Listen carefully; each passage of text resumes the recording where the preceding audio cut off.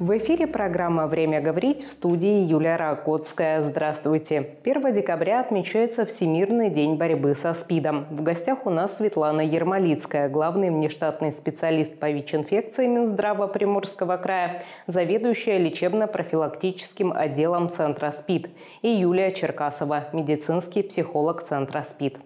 Добрый день, дорогие гости. Добрый день. Добрый день. А, СПИД. Что это за болезнь, Светлана Александровна? Много о ней говорится, но давайте напомним. СПИД – это первоначальное название этой инфекции, а сейчас более распространенная – это ВИЧ-инфекция, вирус иммунодефицита человека.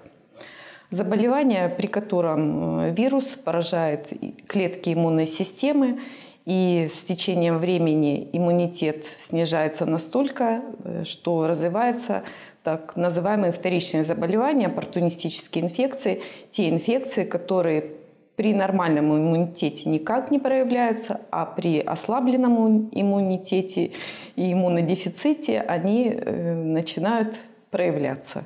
Это может быть температура, лихорадка много месяцев, э, снижение веса, э, кожные проявления, раз, ну, спектр проявления, широкий. спектр широкий, туберкулез, как правило, это чаще всего поражает пациентов наших с иммунодефицитом.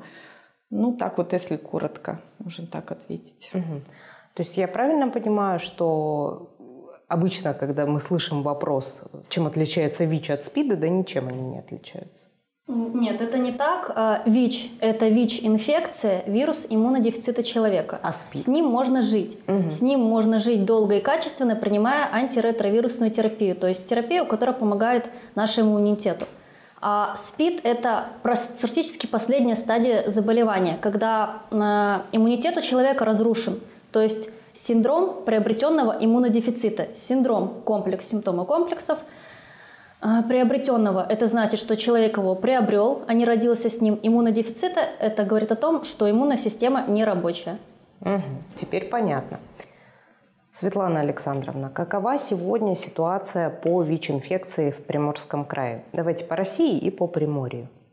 На сегодняшний день в Приморском крае выявлено около 20 тысяч ВИЧ-инфицированных. Но с учетом того, что люди убывают, прибывают, умирают, э, живущих на сегодняшний день около 10 тысяч человек в Приморском крае. Это на 2 миллиона примерно, как у нас население.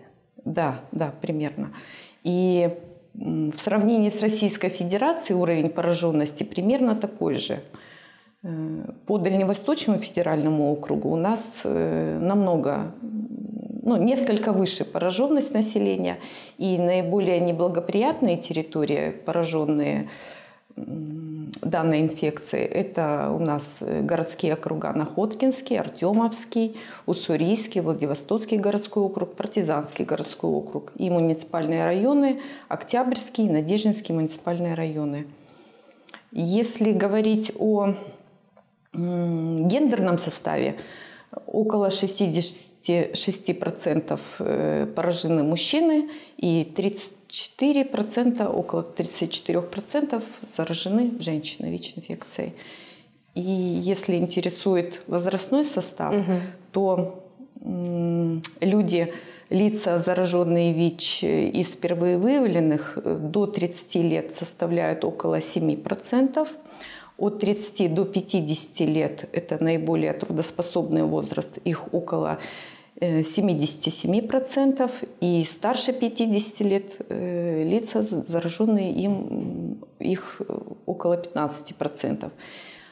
Вот так. И по пути заражения, если считать, то преобладающим путем остается парентеральный немедицинский путь заражения. Что то есть это значит? Это заражение при употреблении э, наркотиков, внутри, э, внутривенных наркотиков.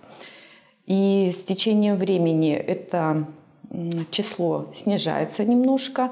Вот на сегодняшний день около 44% э, заражены. Остальные заражены половым путем, и причем э, вот, э, половой путь заражения, он несколько увеличивается с течением времени. То есть парентеральный уменьшается, а половой увеличивается. Угу. А если посмотреть разницу в годах, то есть, ну, там, предположим, а, употребление наркотиков у нас было на пике там, в 90-е годы, да? тогда ВИЧ-инфекции было больше, чем сейчас или нет? То есть сейчас мы как-то снизили вот эту э, границу заболеваемости? Ну, количество человек, впервые выявленных в этом году, оно немножко снижается, но не так, чтобы прямо резко. Но некоторая тенденция к снижению есть. Угу. А какие задачи представляет собой Приморский центр СПИД? Задачами спеццентра является профилактика ВИЧ-инфекции, лечение ВИЧ-инфекции и диагностика ВИЧ-инфекции. Ну, так коротко можно, из трех задач состоит наша работа. Мероприятия будут посвящены как раз 1 декабря, День борьбы со СПИДом. А, у нас попросили провести мероприятие ДВФУ, в ГУЭС, а, далее в ТУС и медицинский университет. Дальше мы посмотрим еще Вероятно, будут еще какие-то запросы. Это на ближайшие две недели наше мероприятие. И что это за мероприятия, что они из себя представляют? Ну, на этих мероприятиях мы приезжаем в, допустим, учебное учреждение, как в данном случае, либо трудовой коллектив или какое-то другое предприятие, куда нас попросили приехать. Мы проводим информирование, то есть какую-то определенную лекцию, рассказываем людям про ВИЧ-инфекцию, пути передачи, про способы защиты, профилактики. Раздаем э, брошюры, листовки, то есть рекламки о том, как себя защитить, что нужно помнить, как себя вести. И проводим при возможности еще и экспресс-обследование. Экспресс-обследование – это когда человек проверяется на ВИЧ-инфекцию, не отходя от учебного или рабочего места. У нас есть тесты, которые дают результат уже через 5-20 минут. Они бывают по слюне и по крови. То есть либо это берется капелька крови, это кровной тест, либо берется слюна с ротовой полости, это слюновой тест. Это абсолютно быстро, безболезненно, анонимно, то есть ни у кого не спрашиваем никаких параметров. Все, все результаты выдаются тоже анонимно, по одному.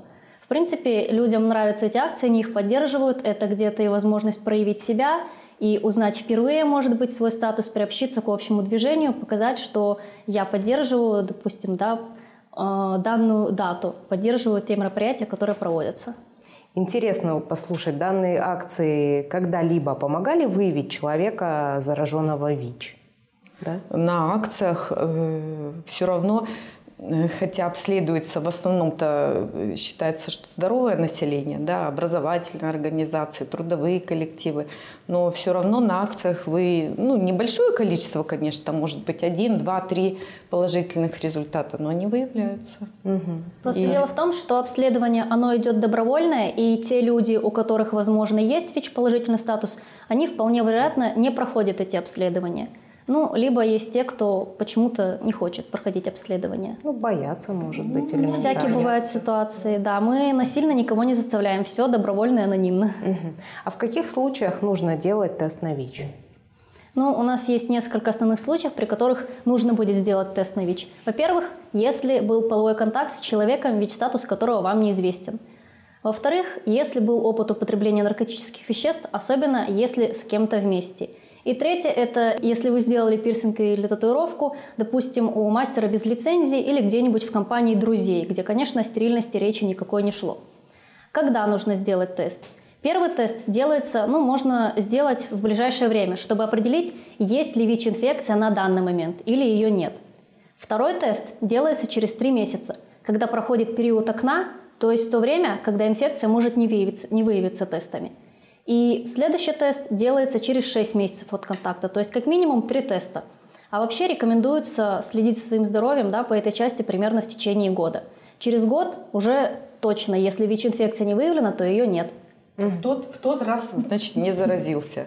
Но если они повторяются, такие моменты, или даже если выясняется, что партнер был ВИЧ-положительный, то, конечно, надо делать Слушайте, тест. ну вот э, интересный момент получается. Мы, когда нас кладут в больницу, допустим, э, там, в женских консультациях, еще где-то, всегда берут тест на ВИЧ. Не всегда. Не, ну, про, ну, сколько раз у меня такое перед операциями берется Это тест да. на ВИЧ, да.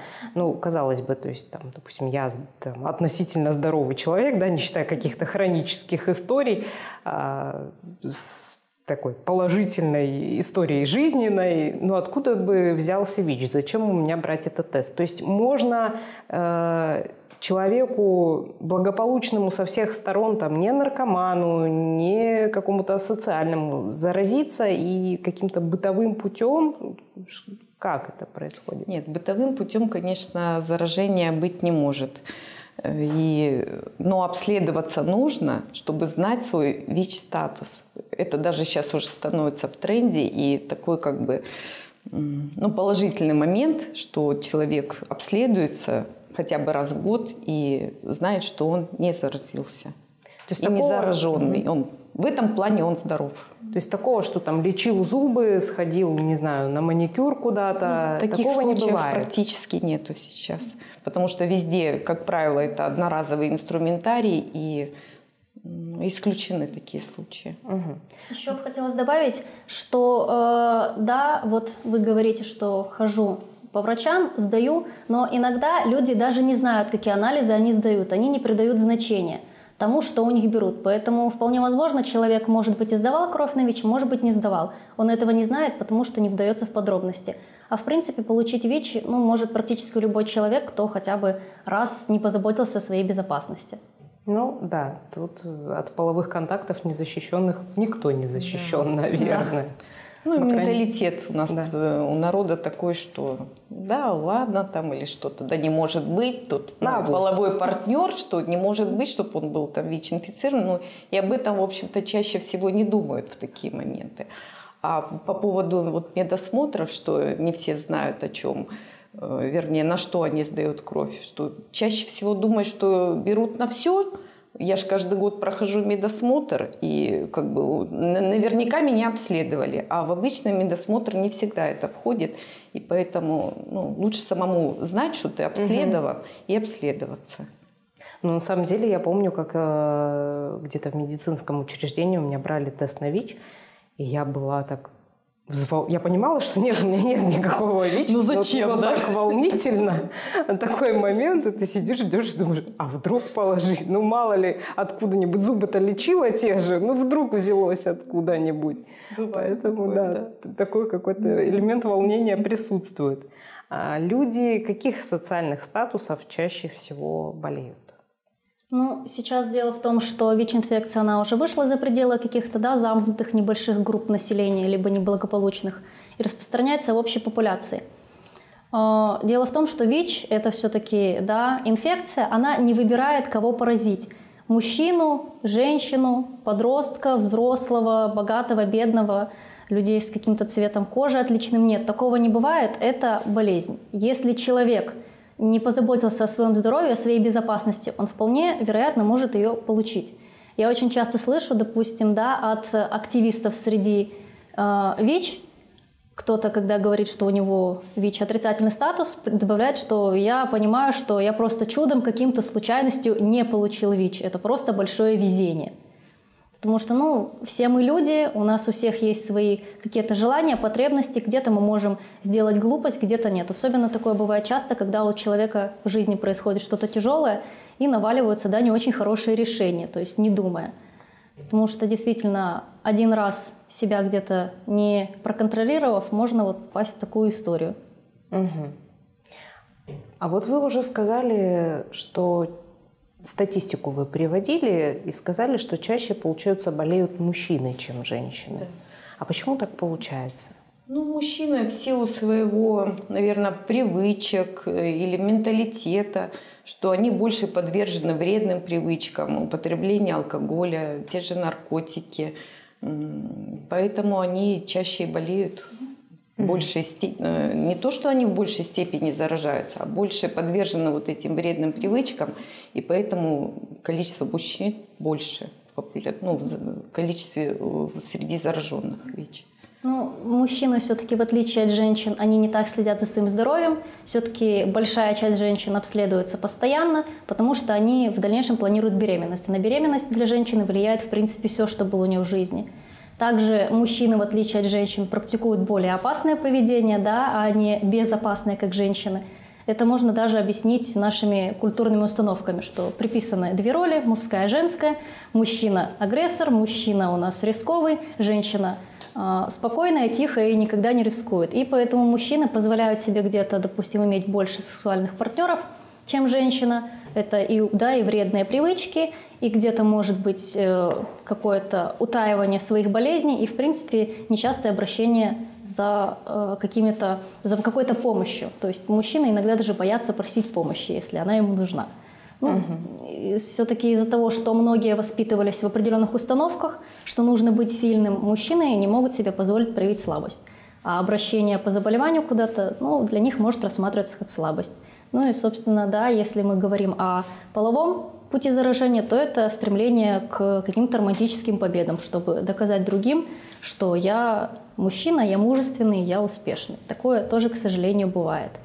Из-за того, что человек хотел как-то утвердиться, если у него других способов нет, он получает ВИЧ-инфекцию. Вот сразу видно психолог. Все разложено по полочкам.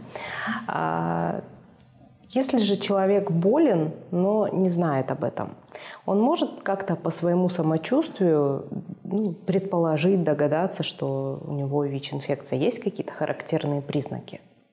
Ну, в тех случаях, когда заражение произошло недавно, допустим, или в пределах пяти лет, то проявлений может никаких не быть. Почему мы активно как бы призываем к тому, что нужно обследоваться каждый год, потому что каких-то признаков не бывает. Ну, может человек, э, может подняться температура, несколько дней может протемпературить, но это опять же не основной признак, это может так протекать любое РВИ.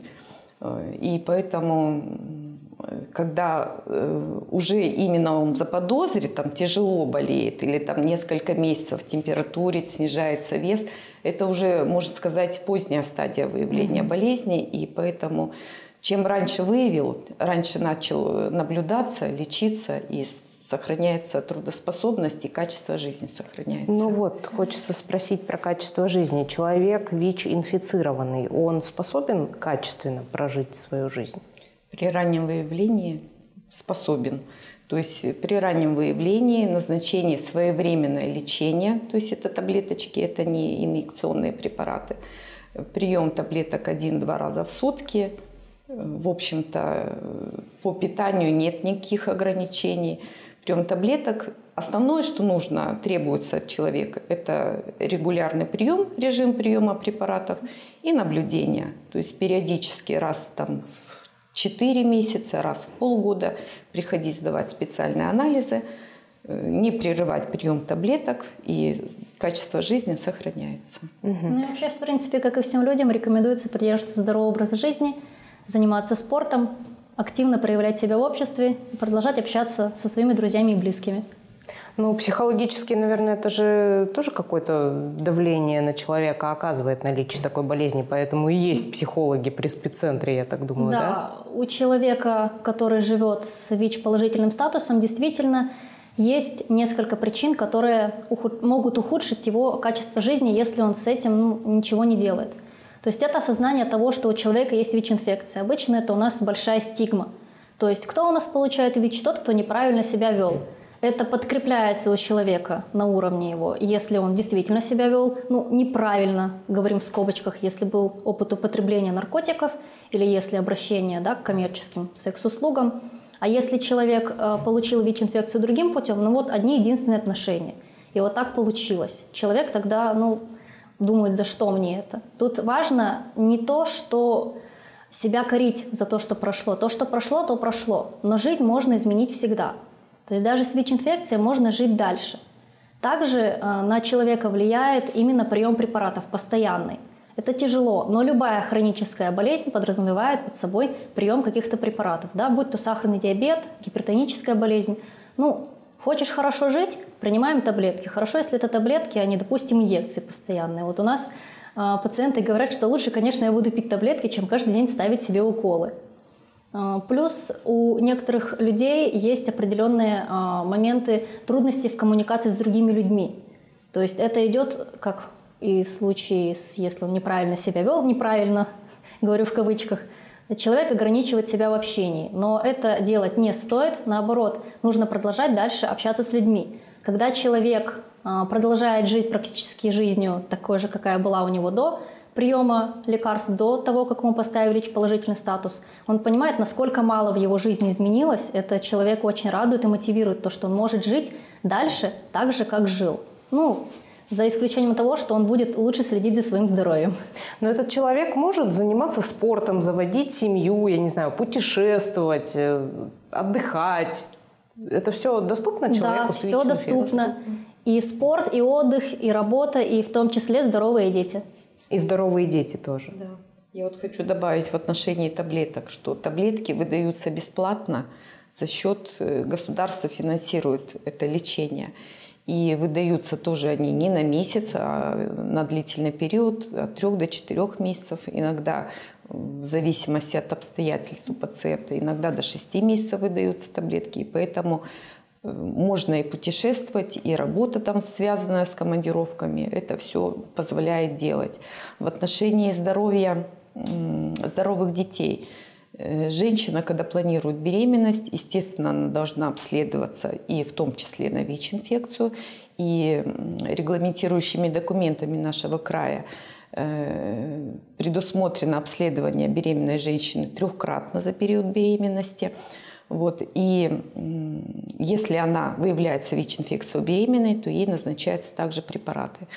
Прием препаратов подавляет размножение вируса и способствует тому, чтобы ребенок родился здоровым. Те женщины, которые наблюдаются во время беременности и обследуются все вовремя, как бы не откладывая там куда-то на последние сроки, они рожают здоровых детей. Угу.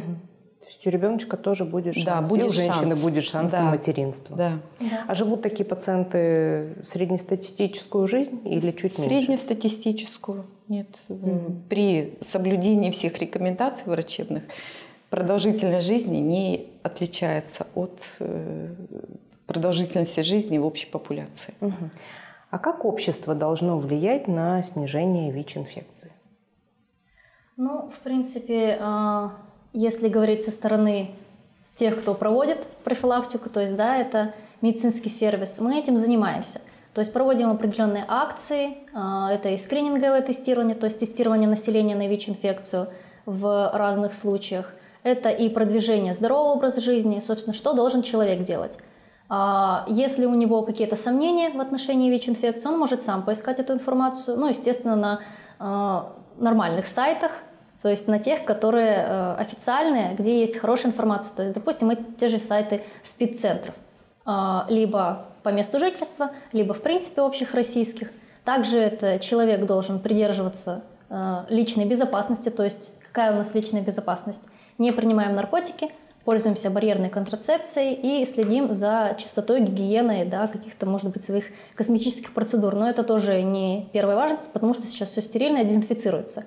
Главное все-таки не ходить куда-то в подполье, там всякое бывает. А, также люди должны следовать здоровому образу жизни и, наверное, да, если у них есть достоверная информация, передавать ее другим, чтобы не сформировать образ негативный в отношении людей с ВИЧ-инфекцией, потому что дискриминация людей с ВИЧ у нас существует. Из-за этого они могут жить хуже. Мы должны прийти к тому, да, такому состоянию общества, где ВИЧ-статус не будет первым и главным в отличии между людьми. Юлия Сергеевна, ну вот к вам как к психологу чаще всего с каким вопросом приходят люди? Угу. Ну, знаете, наверное, даже не вопрос, а состояние, которое характерно для тех, кто ко мне приходит, это и приходят люди за консультацией до того, как сдать тест, это приходят и пациенты с своими вопросами. Если говорить о дотестовом консультировании, то есть э, что проводится, я провожу информирование с человеком, насколько он вообще знает, что такое ВИЧ-инфекция – встречаются люди с так называемой спидофобией. То есть, когда человек панически боится получить ВИЧ-инфекцию. Стоит сказать, стоит сказать, что а, именно спидофобию, как последнее состояние, может диагностировать только психиатр. То есть он только может понять, что это какой-то триггер, то есть пусковая кнопка, человек услышал что-то страшное, испугался – или это, в принципе, состояние свойственное для человека, который переживает за свое здоровье, там, не знаю, за кости, за почки и за ВИЧ. Либо это именно спидофобия, последняя стадия, где человек видит э, самое страшное везде, не знаю, там пошел куда-нибудь в общественный туалет, а там было пятно на унитазе, ой, я мог заразиться. Там я прошел где-то по улице, потом ботинки помыл своими руками, ой, тоже мог получить ВИЧ-инфекцию. Он знает пути заражения, знает профилактику, но он все равно сомневается. То есть спидофобия – это неуверенность, в принципе, вообще ни в чем. То есть если человек чувствует, что он как-то особо уязвим в отношении ВИЧ-инфекции, либо мог ее получить, что нужно сделать? Первое, конечно, все-таки все проверить. То есть сравнить свои а, предположения с тем, что прописано везде официально. Что это у нас половой контакт, употребление наркотиков, остальное как бы нет. Под, слюна, слезы, вот это все безопасно а те жидкости, в которых содержится максимальное количество вируса для передачи другому человеку, это кровь, сперма, вагинально отделяемая. То есть только два пути – инъекционный, половой. Также, если человек чувствует, что он мог получить ВИЧ, об этом можно поговорить со своими родственниками, с близкими, с тем, кому можно доверять. Обычно такие беседы снижают уровень тревожности. А также, если человек не может самостоятельно справиться со стрессом, то можно обратиться к психологу, психотерапевту, чтобы этот специалист помог поработать со страхами, которые человека гложут. Угу. То есть все достаточно, ну, все достаточно понятно, как, да. как, как тут поступать. А, Светлана Александровна, ну что пожелаете, наверное, нашим слушателям в день борьбы со СПИДом? Слушателям я пожелаю здоровья в первую очередь. При необходимости, ну даже если нет необходимости обследоваться на ВИЧ, это можно сделать ну, либо во время акции, либо при очередном посещении медицинского учреждения – то есть э, при ежегодном медосмотре, который проходят все работающие, или вот сейчас идет акция в медорганизациях «Здоровый я», когда можно тоже сдать кровь на ВИЧ и знать, знать свой, спид, ой, знать свой ВИЧ-статус. А в принципе это ну, элементарные правила здоровья. Да? Не употреблять наркотики, при половых контактах использовать презерватив – чтобы потом себя не корить, зачем же я вот не использовал. Ну, вот таким образом. Ну и, наверное, э, не бойтесь узнавать о ВИЧ-инфекции, ведь знание – это сила знания, то, что поможет вам защитить себя и поможет жить в гармонии с другими людьми. Отлично. Я желаю, чтобы все были здоровы. Это самое главное. Я напомню, это была программа «Время говорить», и сегодня мы говорили о борьбе с ВИЧ-инфекцией и СПИДом. В гостях у нас были Светлана Ермолицкая, главный внештатный специалист по ВИЧ-инфекции Минздрава Приморского края, заведующая лечебно-профилактическим отделом Центра СПИД, и Юлия Черкасова, медицинский психолог Центра СПИД. В студии работала Юлия Ракотская. Увидимся на восьмом.